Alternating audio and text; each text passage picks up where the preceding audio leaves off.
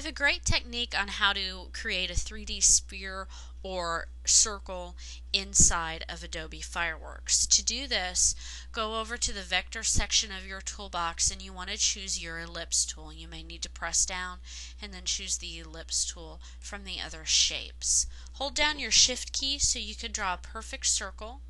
Go over to your canvas, you'll see the crosshair. And now with your shift key held down, you want to drag down with your mouse to create the size of the circle that you want.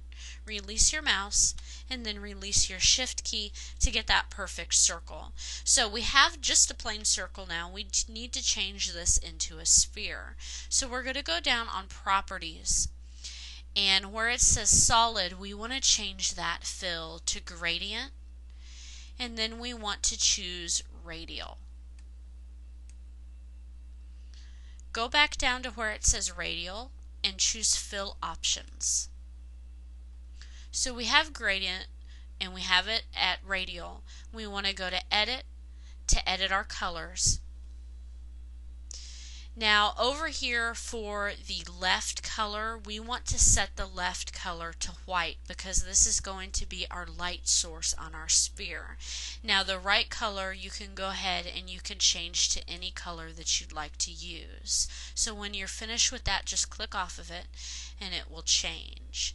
Okay, click off this and we will um, go ahead and we will get our sphere here. Now we want to change where the light source is. There's probably not going to be a light source head on like that. So to get your tools where you can change where your um, gradient is showing up, then you need to select the paint bucket tool and you'll get this line. So what you need to do is you need to move the square and this is where the white is.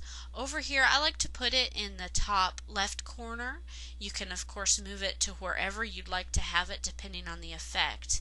And then if you move your blue down this way,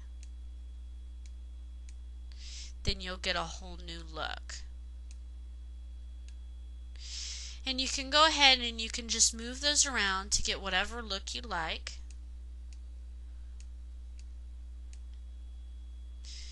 And then click on your pointer tool and then click somewhere else and there you have created your 3D sphere. You can also use a perspective shadow if you'd like to make it look even more realistic.